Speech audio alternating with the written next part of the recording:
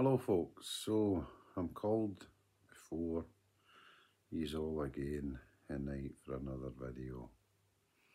And I don't know how long it's going to last, but it's going to cover a couple of things. It's in a daily diary, right? And if anybody's been watching me on Facebook, you'll see that I invented two new sets of superheroes, right?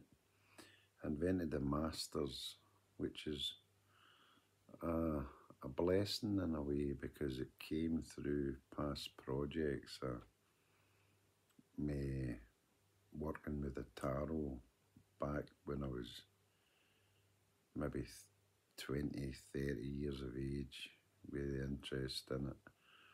Then developing products and then I turned them into superheroes then I was sitting and I let my imagination go a bit further with the chakras and stuff as well that I've studied. And I came up with the Ladies of the Rainbow, which is another set of superheroes. And I'm trying to get them developed. And so watch this space, right, with that. And I'm comfortable in telling you new because it can't be copied. It's copyrighted and copyright law states that a minute a concept or an intellectual idea exists and put down on pen, paper or recorded, that that's it covered under copyright laws, right?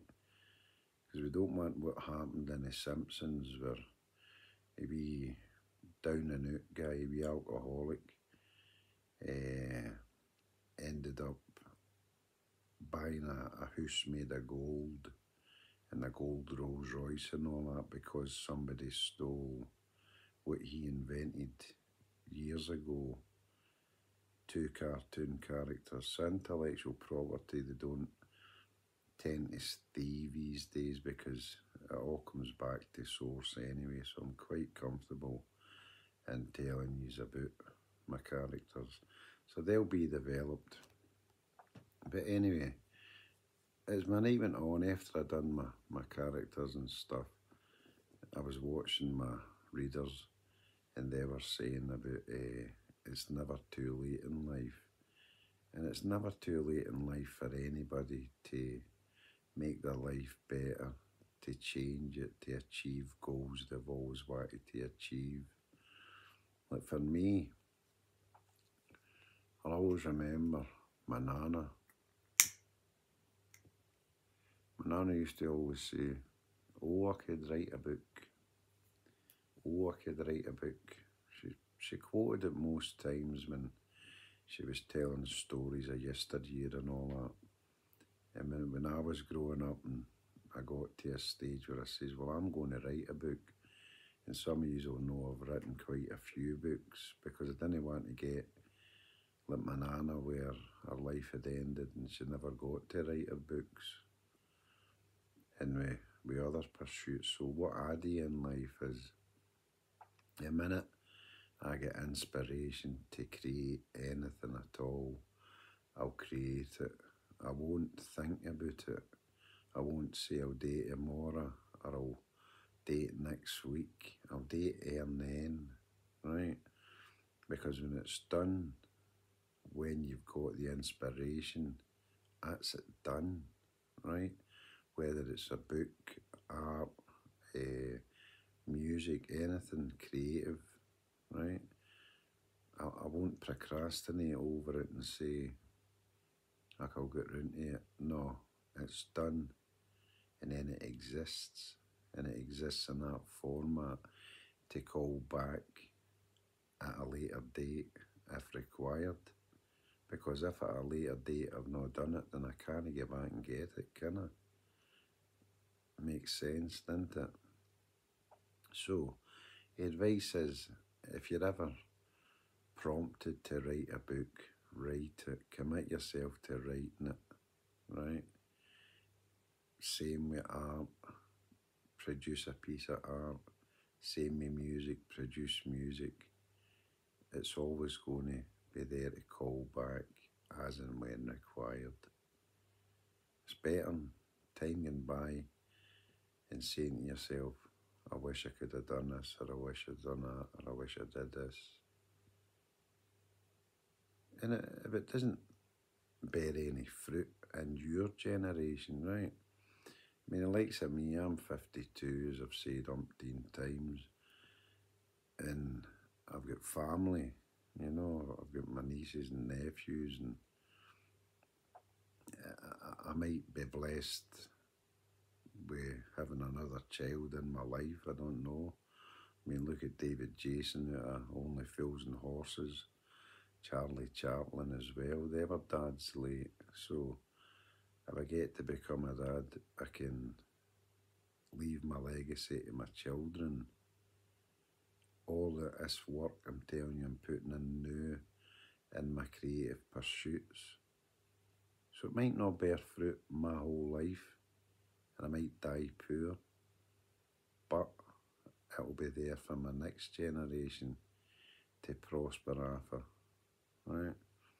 Because even like you two and that will joke and say that death is a career move, right? And you see it sometimes, social media is it, you hear news, this one died and that one died. Did they? Or is it just to hype them up, to bring awareness to their product or their song or their books, their legacy, to bring attention to it after the forever decreasing attention span of social media in today's world. You know? But for me, like the Bible says, uh, you can't get into heaven if you're rich. So that suits me. If I die poor, I'm, I'm getting into heaven, you know. One trail of thought, other trail of thought is heaven on earth, right, with the, the, Lord's Prayer, as they say. But even the title of Lord, I don't think Jesus would have took that. Jesus wouldn't have took being called a Lord because he was so humble, right? Your Lord's current day down in England and London, they'll take it to drop your hat. They'll sell their granny for a title of a Lord, these politicians, right? The title of a Lord is uh, gained through money and greed current day. And in Jesus' day, he wouldn't have accepted being a Lord. He'd have just been Jesus, as humble as you and I, as he was. So, in summary, before I sign off, if you want to do anything in life, could be anything at all. It doesn't need to be creative pursuits. It could be anything. Please do it, right? Don't get to the end of your days and say, I wish I'd have done it, because life isn't a rehearsal, like you two reminded me as well. You don't get a second chance at life, you've one life, that's why I pursue everything I can. And people might look at me weird and say, oh, he's doing that one minute and that the next. It's whatever comes up, it's whatever God has placed in my path with what I call a download when I meditate. It's a, an activation through the source to my higher self into my 3D body that makes me pursue different 3D pursuits in creation. Right? That's how it's all over the place and doesn't make rhyme nor reason. Right? So don't let that hold you back either. Don't let what other people think you ever hold you back. Steer your own course in life without thought of anybody. You know, because you'll get people who try and trap your mind and make you think of them and what they would think of what you're doing. Forget them. They're not you. They'll not be on your deathbed reflecting on life when your time comes. So live a full life, live a happy life, and don't make anybody else's life any harder than it needs to be. And I'll see you again. Bye bye.